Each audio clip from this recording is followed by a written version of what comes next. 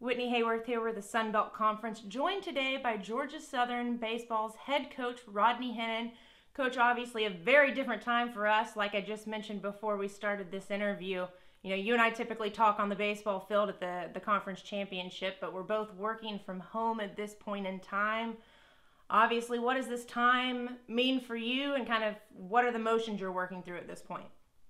Well, obviously, uh, uncharted waters for for everyone uh, literally. Uh, i mean this is a once in a lifetime event um, for all involved and um, you know just trying to make the most of the time. Most of all just try to trying to stay positive. And uh, you know one thing that we talked about with our guys when all this happened and and uh, you know we kind of sent them on on their own separate ways most of them back to their homes obviously uh, just try to focus on the things that that we can control uh, right now. You know, we all miss the normalcy of of our routines. Uh, I, I, looked up early this morning the the weather in Boone. We would have been at App State today, and it, it was sunny and 55 in Boone. So Kermit, they got mm-hmm. nice weather up there today. Uh, always great when you get that kind of weather in Boone. But you know, really, um, just try to stay in a routine, stay busy. Um, I know my wife's had a few things for me to do around the house. Uh, mm-hmm. Cleaned out the garage. I think that first Saturday uh, that that I was home, and for us, we we have two kids in college. Uh, they're back home, so it's been nice having our family together. I think we've we've appreciated uh, having that time together that we wouldn't normally have as much of. Um, but certainly, we all miss the normalcy of of things. But it, I, I do think it puts things in perspective uh, for for all of us. Obviously, people are are affected by this disease, and and uh, the people on the front lines that are having to fight it, deal with it every day. We we try to keep them in in our thoughts and in our prayers, and um, you know, people that that maybe have lost jobs uh, right now as well. So you know, you want to think about those folks and, and keep them in our prayers and, and stay positive and understand that we'll, we'll all get through this and, and at some point things will get back to normal and we'll all be doing the things we love again. So we'll kind of go back and forth a little bit here between what was normal and the new normal now. For you guys, I mean, you were playing some of your best baseball up until until everything was canceled. The last few games that you had, you had a three-game series versus number three Georgia. You swept them. Uh, you know, obviously, what had you learned about your team at that point in time, and what was impressing you the most? Well, I think going into the season, we we had an older, more experienced group, and and we were very optimistic uh, about our team. Um, you know, we had a tough weekend early against a very good East Carolina team, our first road series on the road. Uh, they were competitive games, but we came up, excuse me, on the wrong end, and I, I think we learned a lot from that series when we got back. Some things that we learned, uh, and our, our kids responded in, in a positive way from that and um, you know we got on a little bit of a roll. We were playing with with some confidence. We were getting really good pitching.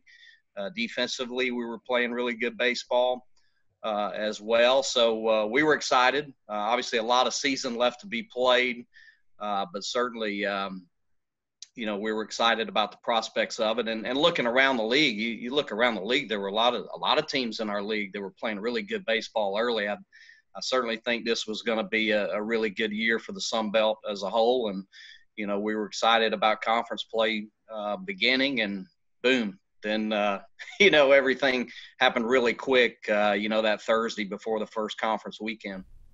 And obviously, as you mentioned earlier, you know, a lot of emotions in this process. So, what are some of the things that you've talked about with your guys as you've kind of helped you know work with them to get for them to get used to their new normal and to help them maybe understand um, some of the things that maybe as a college student they're not understanding that maybe you are as a head coach.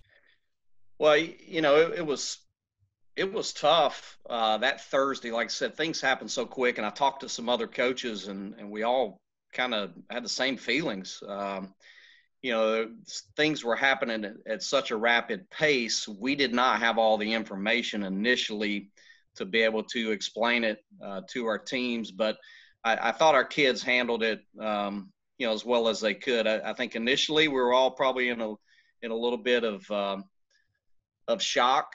Um, we were literally on the field practicing that Thursday afternoon um, when the NCAA released the statement, um, you know, about the cancellation of the NCAA tournament and in Omaha. So uh, I made the team aware of that uh, right after practice. We were able to gather again the next day and provide more information. And and the things that we talked about then when that happened was, hey guys, this is obviously a very serious thing. We don't have all the information. We don't have all the answers. We have to trust, you know, leadership, people that are making these decisions, and stay positive, and um, you know, focus on the things that we can control. So that's that's really the message now. Really, you know, tried to call at least you know five or six guys a day. Just stay in touch uh, with our team that way, and and through group text and you know focus on our, our academics that's one thing we're, we're doing classes online now and, and everyone is set up uh, we have great support um, you know on campus uh, you know for our guys they're still able to do their tutoring online and you know we sent workouts home uh, our, our strength and conditioning coach coach day uh, kind of modified those workouts where if they're working in the front yard or out of the garage you know there's some things they can do physically to to try and, and stay in shape and and uh, you know guys seem to be you know doing a pretty good job of that and I've encouraged them to just stay connected with each other. Um, you know the one thing I, I, I miss and I think we all miss more than anything is just being around each other. Uh, you know this is a really fun group to to coach and be around and and and just being around those guys every day I, I, I think are the things that you that you miss most right now.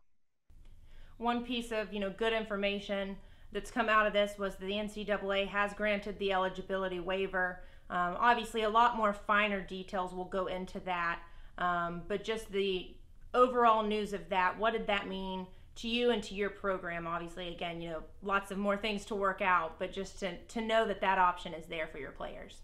Well, I, I tell you, really, really glad to see um, you know, our leadership around the country vote to to give all the student athletes another year. And I, I know there's some challenges, some things to to work through. But without a doubt, I, I believe that was the right thing to do. Um, and, and, actually, that Friday before we left, the NCAA also came out with a statement, uh, you know, saying that they supported that. Um, you know, so you felt like there was a good chance that that was going to happen. I, I did have an opportunity to talk to our seniors before they went home and say, "Hey, guys, I don't know. Here's the statement. Looks like there's a chance for this, and and um, you know, in our situation, we have five seniors, and you know, not just good baseball players, but even better young men.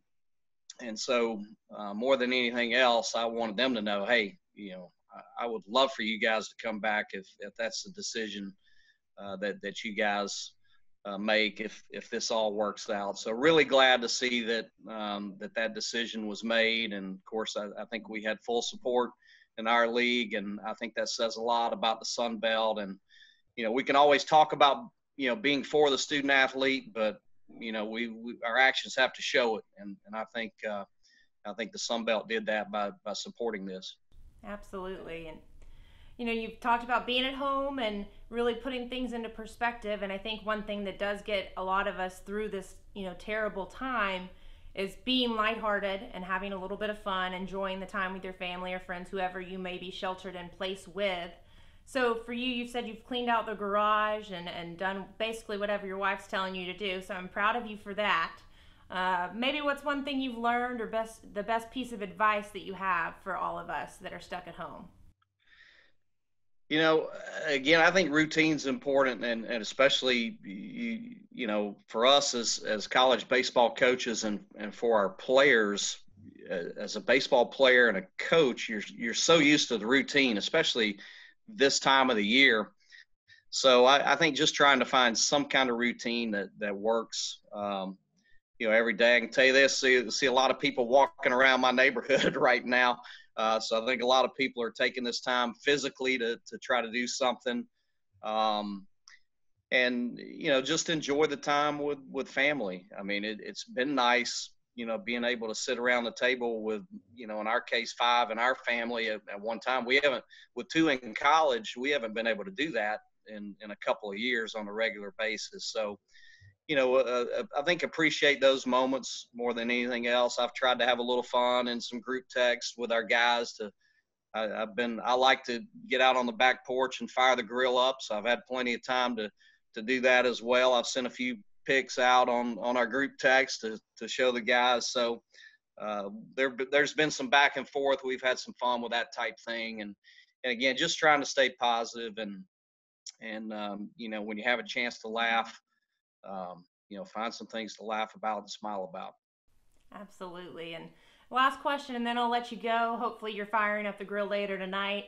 Um, you know, Georgia Southern's got a new athletic director in Jared Benko. He seems to be very involved in, in social media, so he's probably going to see this. So beware of that. Uh, you know, he got to throw out the first pitch in one of the games against Georgia. How do you evaluate his performance on the mound? What? Uh, oh, he he laid it right in there. He threw a strike. Um, you know, Jared and I. I think Jared. It's uh, it's awesome. Ha- awesome having him on board. I, I know he's excited. You know uh, about uh, getting started. And you talk about getting thrown to the fire. Uh, you know, becoming an athletic director and then having to deal with a, a, a pandemic uh, right out of the gate. Uh, but Jared has done a great job.